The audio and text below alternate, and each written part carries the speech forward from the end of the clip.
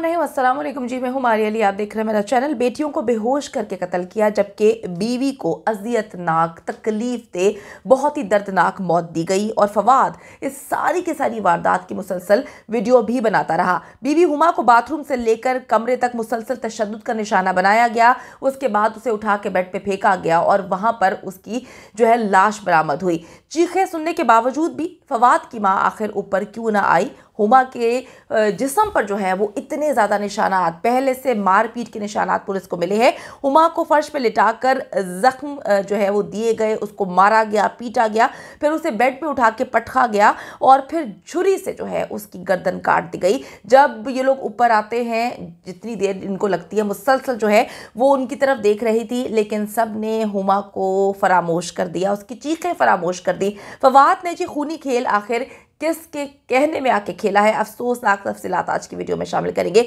कराची का जो कसाई है, ये दरिंदा, ये बेगैरत किस्म का इंसान जिसने इतनी तकलीफ़ दे मौत दी है अपनी फैमिली को, और यकीन करें कि मुझे हैरत होती है कुछ लोगों पर जो मुसलसल इसको जो है, ये कहानी सुनाने की कोशिश कर रहे हैं कि वो जो है हालात से तंग था वो जो है, बेचारा बड़े मसले मसाइल थे, बड़ा कर्ज था रोटी के मसले चल रहे थे, और पता नहीं बड़ी टेंशन थी। तो जिनके ये मसले मसाइल होते हैं, आप लोग जस्टिफिकेशन दे रहे हैं कि वो कोई भी इंसान जिसके ये मसले मसाइल है, वो अपनी फैमिली का इस तरह से कत्ल कर दे, वो अपनी बीवी को जो है छुट्टियों के वार से मार दे, वो अपनी बेटियों को, अपने खून को जो है, वो इतनी बुरी तरह अजियतनाक मौत दे दे। मतलब ये किस तरह की जस्टिफिकेशन है?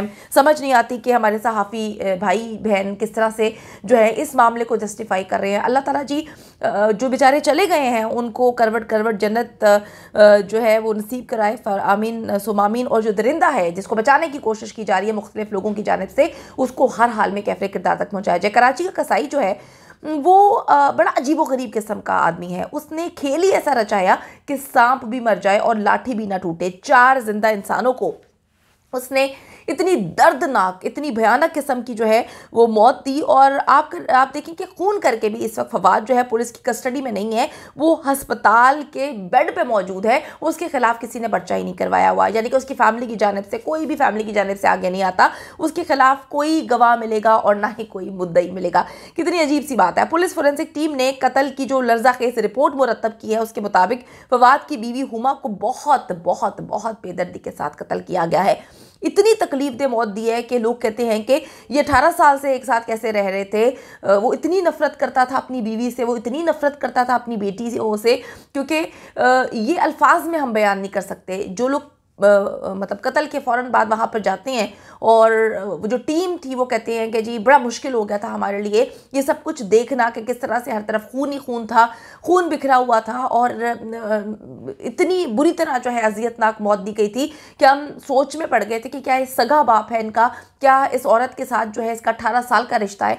अच्छा जी, मैं आपको बताती चलूँ कि इतनी चीखों पुकार रही वहाँ पर लेकिन आप देखें कि कोई भी उनकी मदद के लिए नहीं आया। हुमा का जो खून है, वो बाथरूम में फैला हुआ है, जबकि उसकी लाश कमरे के बेड पर जो है बरना पड़ी हुई थी। एक कंबल उसके ऊपर डाला गया था, उसको इतना मारा गया था, यकीन करें कि कमरे का फर्श, कमरे के दरो दीवार जो है, वो खून से नहाए हुए थे।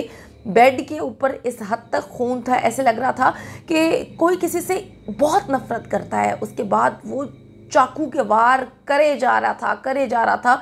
उसने पता नहीं कितने वार किए होंगे, क्योंकि जो खून है, वो हर तरफ़ बिखरा हुआ है। बाथरूम के अंदर खून है, वहाँ से घसीटता हुआ बेड पे लेकर आया, उसके बाद बेड के ऊपर फिर फेंका है इसने। बेड के ऊपर फेंक, पटकने के बाद जो है, फिर इसने जो है, उसको चाकू मारा है और हर तरफ़ जो है, वो खून ही खून है। अच्छा जी, मैं आपको बताती चलूँ कि हुमा पर बेडरूम में हमला किया गया था और हुमा ने उसे भागने की कोशिश की थी। हुमा जो है, वो भागती हुई जो है, मुख्तलिफ़ जगहों पर जा रही थी, चीख रही थी, चिल्ला रही थी। आप देखें कि हुमा के चीखने की आवाज़ नीचे नहीं गई। हम कौन से ऐसे महल में रहते हैं कि माजत कि आपको आवाज़ ही ना जाए, आपको समझ ही ना आए कि क्या हो रहा है। कि हम इंसान जो है, वो इतने बहरे हो चुके हैं, इतने अंधे हो चुके हैं कि हम चाहते ही हैं कि हम किसी की तकलीफ़ दे, चीखों को महसूस कर सकें।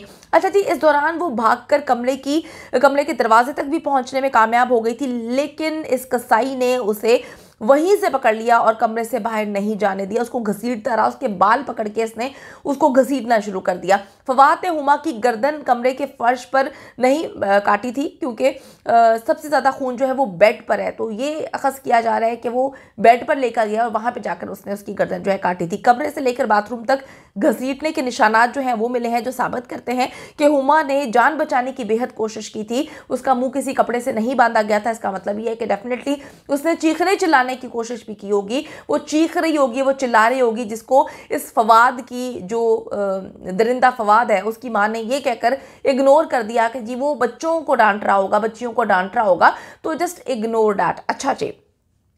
जी जो वैशी दरिंदा है हुमा को छुरी से जो है वो जिसम पर ज़ख़म पर ज़ख़म देता रहा और जो फोरेंसिक रिपोर्ट है उसके मुताबिक पहले भी जिसम पर जो है मारने पीटने के, के निशानात थे और इसने सिर्फ़ उसका गला नहीं काट दिया उससे पहले छुरी के साथ जो है उसके जिसम पर मुख्तलिफ़ निशानात बनाता रहा अजियत देता रहा उसके जिसम को काटता रहा। हुमा का खून जी उड़ उड़ कर कमरे की दरो दीवार तक जो है वो फैला हुआ है। इसके बाद फवाद ने अपनी बीवी को उठाकर बेड पर लिटा दिया और बड़ी बेदर्दी से उसकी गर्दन काट दी। बेड पूरी तरह से खून में जो है वो नहाया हुआ है और ये दरिंदा आराम से हॉस्पिटल के बेड पे जो है वो पड़ा हुआ है। बड़े आराम से ये कह दिया, बड़े आराम से जो है लोग भी ये कहानी रिपोर्ट कर रहे हैं कि जी वो बड़े मसले मसाइल थे जी, वो ये मसला था, वो मसला था फला मसला था ढींग मसला था। मतलब जिसको मसले मसाइल थे उसने अपने आप को नहीं वो अभी तक ज़िंदा है। और जिनको मसले मसाइल नहीं थे उनको मार दिया गया। तो किसी का भी कत्ल जो है उसकी आप जस्टिफिकेशन नहीं दे सकते। किसी के कत्ल की जस्टिफिकेशन नहीं होती।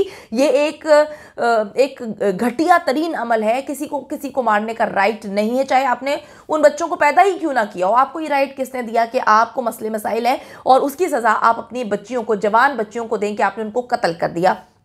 अच्छा जी, मैं आपको बताती चलूँ कि घर के दूसरे कमरे में बेटियों की गला कटी लाशें मौजूद हैं, वो बेड पर ही मिली हैं, लेकिन यूँ मालूम होता है कि उन्हें कत्ल करने से पहले बेहोश कर दिया गया था, इसलिए उनकी कोई आवाज़ नहीं आई, उनकी कोई जिद्दोजहद जो है नज़र नहीं आती, कोई स्ट्रगल नज़र नहीं आती, उन बेचारियों को वो बेड पर थी, उनको वहीं पर उसने मार दिया गया। स्ट्रगल नज़र आई है हुमा की जो है जब इसने हुमा को मारा है, क्योंकि हुमा ने भागने की और चीखने चलाने की बेहद कोशिश की है। पुलिस के मुताबिक फोरेंसिक लैब की डिटेल रिपोर्ट का इंतज़ार है, लेकिन यूँ मालूम होता है कि फवाद जो है, वो बड़ी तैयारी से घर में आया था। वो अपने साथ गोलगप्पे लेकर आया था, जिसमें बेहोशी की दवा मिलाई गई थी, जिसे बच्चियों ने खा लिया था, लेकिन हुमा जो है, वो होशो हवास में थी। तीन बेटियों ने वो गोलगप्पे खाए, जिसके बाद जो है, वो बेहोश हो गई और इस दरिंदे ने, दरिंदे बाप ने, यानी कि मैं बार बार इसको कंपेयर करती हूँ मेहदी अली काजमी के साथ कि मेहदी अली काजमी एक वो बाप है, जो अपनी बेटी को दरिंदों के चुंगल से निकालने की कोशिश कर रहा है, लेकिन दूसरी तरफ़ उसी कराची में एक दरिंदा सिर्फ़ बाप है, जो अपनी सगी बेटियों को, अपनी पैदा की हुई बेटियों को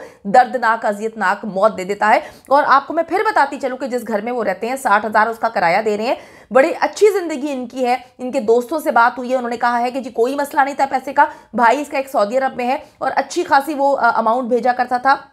पाकिस्तान, और इसकी ज़िंदगी बड़ी लैविश थी, बड़ी अच्छी ज़िंदगी गुजार रहे थे, जो साठ हज़ार पर मंथ जो है, वो किराया देते हैं डेफिनेटली आप देखें कि उनकी ज़िंदगी कितनी अच्छी गुजर रही होगी। मैं आपको ये भी बताती चलूँ कि चार कत्ल करने के बाद बहुत ही आराम से फवाद को जो है, वो बचा लिया गया, और अब वो बड़ी आसानी से रिहा भी हो जाएगा, क्योंकि जो उसके खिलाफ मुकदमे की कोई पैरवी करने वाला ही नहीं है।